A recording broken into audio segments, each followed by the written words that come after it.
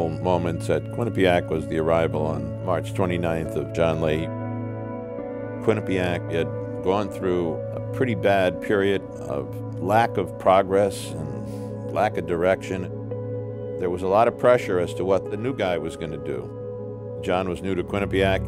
We were new to him. Nobody knew what to expect, but we knew we needed something. We've been very fortunate in our quest for a new president. We have succeeded in attracting Dr. John Lee Lahey to Quinnipiac College. Three of the most important qualities for evaluating or understanding a college, indeed understanding any organization, are its mission, its values, and its plans and vision for the future. When John first arrived, I think people were really optimistic about the future, but they were uncertain because the college itself was not in great shape at that time, so no one knew which way the wind was going to blow. But I can tell you with certainty, no one could have imagined the transformation that was about to occur.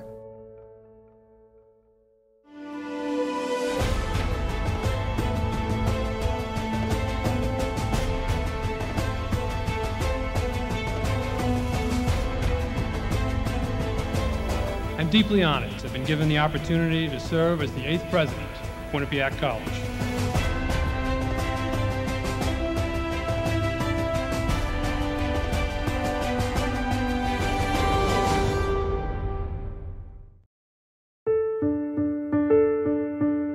Quinnipiac College had prospered through the middle part of the 20th century.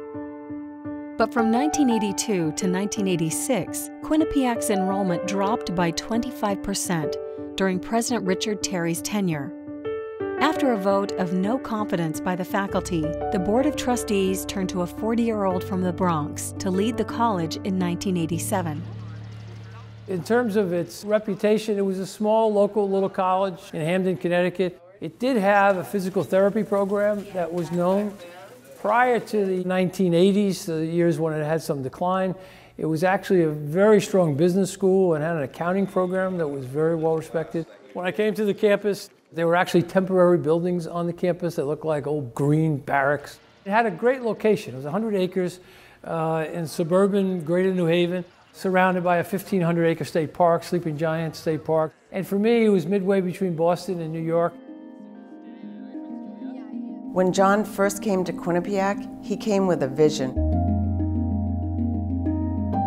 It's very apparent that he was young and that he had energy and that he acknowledged the fact that there was work to do and he wanted people to get on board and let's make it happen together.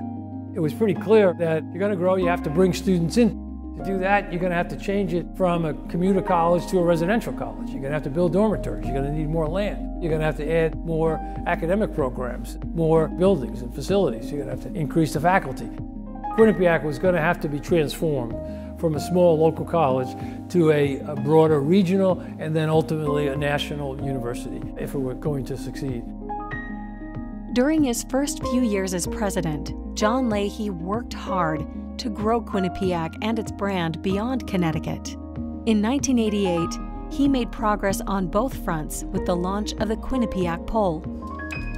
I had something to do with a poll at another college. I already knew the potential of what a poll could do. One of the early questions I asked was whether anyone here in the faculty could do a poll. And I was told Paul Faustigno had done some polls in the business area. He was a marketing professor and he did some local polls for some local businesses. I got Paul in my office uh, a couple of weeks later and asked him, I said, listen, I have an idea. I'd like to start a political poll. Could you do it? And he said, absolutely. We started in Connecticut and then we moved it into New York. Then we moved it to New Jersey. Then we moved it to Pennsylvania. Then we moved to Florida and Virginia. Then we did national polls. I knew the poll was going to be one of the things we would do to get the name of Quinnipiac known outside of Connecticut and to transform us to a regional and then eventually a national college. So it was very much integral to the whole comprehensive marketing plan of the university. While Quinnipiac was starting to gain recognition regionally, its facilities and academic programs had not kept pace. When John Lahey came in 1987, we had actually not built anything for the last few years. Some of our better students, the OTs and the PTs, were in a situation where we had to bus them from this campus over to a building on Sherman Avenue. Well, that's no way to treat your best students. So one of the initial things to try to do to get this place rolling was to try to say, how can we get our best students on campus? And when John came, we had had a building on the drawing blocks that we had presented three times to the board and couldn't get through. We kind of reworked it and came up with what became the Echlin Health Science Building. After two years of fundraising, the $4.5 million Echlin building opened in the fall of 1989. This was a pivotal part of President Lahey's vision to grow academically. Soon, he shared plans for the School of Business and the Department of Communications. In the 1980s, um, the School of Communications was not a school, it was part of Arts and Sciences. Media production facilities were lodged in the basement of the library. Classrooms, Tator Hall, typewriters. Um, it really, really reflected that small college feel, uh, but also it wasn't as technologically advanced as it, as it should have been relative to the way the media had uh, grown over, over the many years prior to the 1980s. First thing that we said to John Lahey was, if you're really serious about having a program of communications, we need a facility. After I finished the Echlin building, I told the business school, I'll get you a new building after I finish that building. By 92, when we opened the Lender School of Business Center, uh, it not only had great facilities for our School of Business, but it also had a broadcast facility for our expanding communications, which we eventually then made into our School of Communications. As the School of Communications began to take shape, Quinnipiac continued to expand even more with the acquisition of the School of Law, which already had deep roots in Connecticut. The School of Law at Quinnipiac University goes back many, many years. It actually began in the 1970s as Wethersfield School of Law. Then, in the summer of 1977, uh, the Wethersfield School of Law left Wethersfield and it went to Bridgeport and became the University of Bridgeport School of Law. In 92, while we had turned things around, we're going up, Bridgeport looked like Quinnipiac between 82 and 86. They were going in the opposite direction. And uh, financially, they were in trouble, and their law school was going to risk losing accreditation. The law school faculty and administration decided that we needed to um, find another parent institution. I was one of a group of four people who engaged in those discussions. We decided that Quinnipiac looked like the best potential parent institution. We took over the University of Bridgeport Law School. Actually, we signed the final documents on March 18, 1992. We built a 129,000 square feet law school and put them in it starting in 95. And that at that time, that was our biggest construction project. It was the first time anyone ever built an 800 student law school. It was quite an accomplishment. The first five years, John really focused on academics and the facilities of the physical plant. And then he turned his attention to athletics. In 1995, he hired Jack McDonald. When I arrived, it was Quinnipiac College. It was a good regional college. Uh, it was the Quinnipiac Braves, and it was Division II.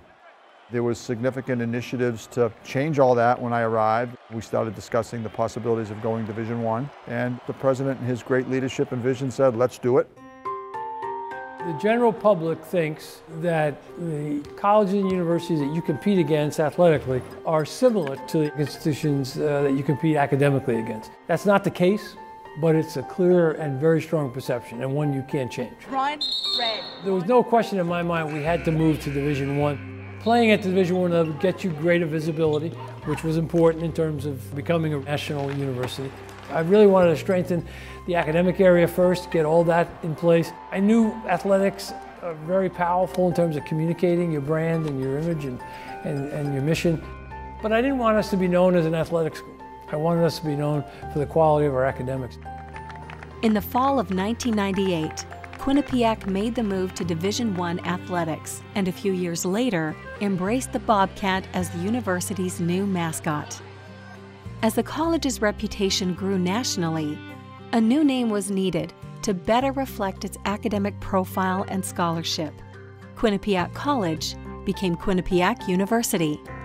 For me, if you're going to change your name to university, you want to communicate to people that you're not solely undergraduate, that you have a significant uh, investment in terms of your mission in educating graduate students.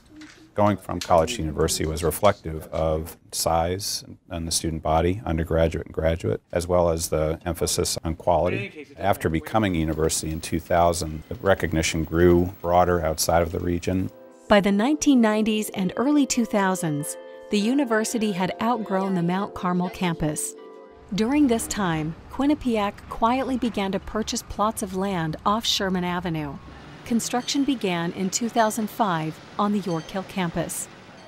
The first building, the TD Bank North Sports Center, opened to great fanfare and anticipation on January 27, 2007. This is an exciting day, an historic day for Quinnipiac as we dedicate our new campus, the York Hill campus, and the first building on that campus, the TD Bank North Sports Center. This building is officially dedicated. Please enter your new sports arena. When we opened the TD Bank North Sports Center, that was really the beginning of a major expansion period for Quinnipiac beyond the Mount Carmel campus. We also opened the Rocky Top Student Center and a number of residence halls on York Hill. And all of that was followed by the acquisition of the Anthem Blue Cross property in North Haven.